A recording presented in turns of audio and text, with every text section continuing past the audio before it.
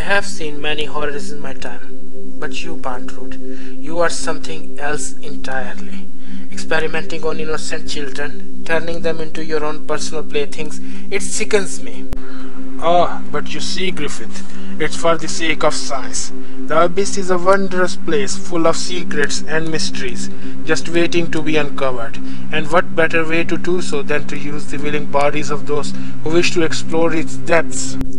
You speak of science as if it justifies your actions, but science is meant to benefit humanity, not exploit it. You are nothing more than a madman, using your intellect for your own twisted desires. Perhaps you are right, Griffith. Perhaps I have gone too far in my quest for knowledge. But tell me, have you never done something for the sake of your own goals? Have you never sacrificed others for your own ambitions?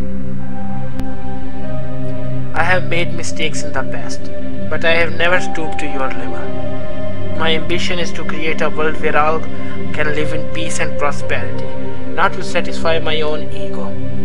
How noble of you. But tell me, Griffith, what makes your ambition any different than mine? We both seek to change the world in our own way.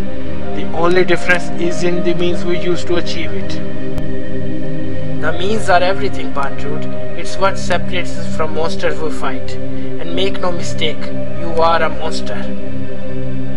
Ah, you are quick to judge, Griffith. But mark my words, there will come a time when you will have to make a choice. A choice between doing what is right or doing what is necessary. And when the time comes, I wonder which path you will choose.